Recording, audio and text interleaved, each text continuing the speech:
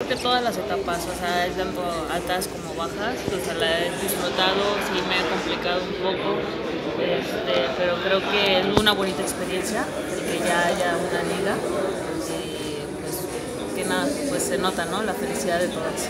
¿Qué habría que mejorar en esta liga? Pues creo que Perdón. no lo podemos comparar como una varonil, pero creo que esto se va a dar poco a poco cuando la gente te apoye. ¿sí? Creo que lo van a estar viendo para que vayan poco a poco mejorando las cosas. Claro, te iba a comentar, la gente ha respondido bien en la mayoría de los partidos, incluso hay récords de asistencia, el, el boletaje no es caro. ¿De quién, quién tendría que seguir haciendo esa iniciativa para poder eh, impulsar más el fútbol femenil? Creo que primero nosotras. O sea, si nosotros damos un buen papel, creo que la gente va a venir a nosotras. O sea, va a empezar a ir a los partidos, va a haber más gente en los estadios. ¿sí? Como dices, del voltaje no es alto. ¿sí? Es como si fuera una copa, una, una copa de Entonces, creo que entre el- de estar en, en nosotras, el mejorar es ¿Qué has tenido que sacrificar, qué has dejado atrás para poder estar hoy en, este, hoy en día pues, con el Toluca? Pues más que nada al principio de la liga, pues este, yo vengo de, de un embarazo, entonces al principio... Perdón, no te escuché, ¿qué? Vengo de un embarazo, Ah, mira, entonces al principio pues tuve que sacrificar mi hija que se quedara en Guadalajara para yo aquí adaptarme y ahorita ya la tengo conmigo, entonces este, estoy muy, muy feliz. Oye, bueno, es, es una cuestión muy complicada porque viene mucho en la concentración, que estás pensando en ella, en tu familia, pero también aquí, ¿no? Sí. ¿Cómo fue el apoyo eh, en ese momento? No, me apoyaron mucho, o sea, mi familia me apoyó mucho en esto. Este, de hecho, estoy agradecida con mi mamá que me cuida a mi hija en este tiempo que no me la pude traer.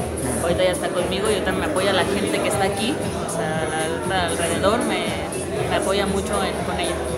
Es un claro mensaje de que se puede, ¿no? Ha habido muchos, eh, muchos casos, tal vez, no aquí en México, tal vez en el extranjero, y no solo en el fútbol, de que se embarazan los atletas y de repente, aunque eh, retomen su ritmo, es complicado, ¿no? Que las vuelvan a tomar en cuenta. Hoy estás dando un ejemplo con esto. Sí, o sea, es complicado, pero no, o sea, no está tan lejos. O sea, puedes agarrar esto, eh, ponerte tus objetivos, sí, y puedes hacer las dos cosas. O sea, puedes hacer tanto mamá como futbolista. Entonces, yo apoyo a la- a- este, les digo a la gente que, a las mamás que quieren cumplir este sueño, que no se rindan, que sigan trabajando y que sí se puede.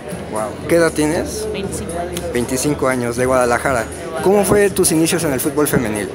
Pues desde chiquita, este, había fútbol femenil, entonces estábamos con- jugando con los hombres. Este, jugaba callejero, de ahí me fui al equipo varonil, de ahí pues me agarraron a, a un equipo femenil, desde ahí seguimos. ¿En cuál, en ¿Dónde estabas? Estaba antes, eh, inicié con Selección Jalisco, Ah, ajá. sí, de ahí pasé a UDG, de ahí al centro de formación que se trataba de selecciones nacionales y de ahí pues ya empezó, o sea, tuve mi proceso de embarazo y ya de ahí inició la liga.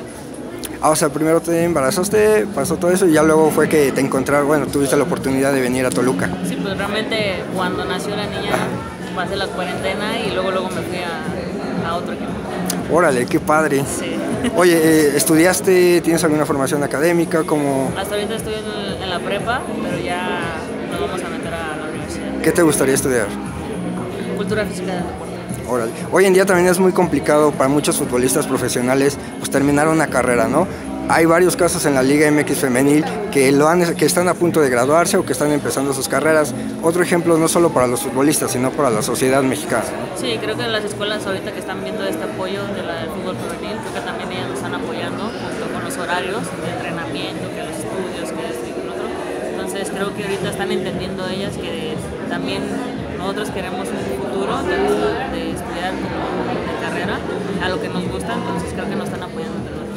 Por último, ¿cómo viste, qué tanto te golpeó, al menos a ti, la eliminación de la selección mexicana para poder ir al Mundial en lo anímico? ¿Cómo te sientes ustedes que estaban desde esta trinchera, no? No, pues creo que sí no, o sea, nos pega y más porque pues no casi no hubo participación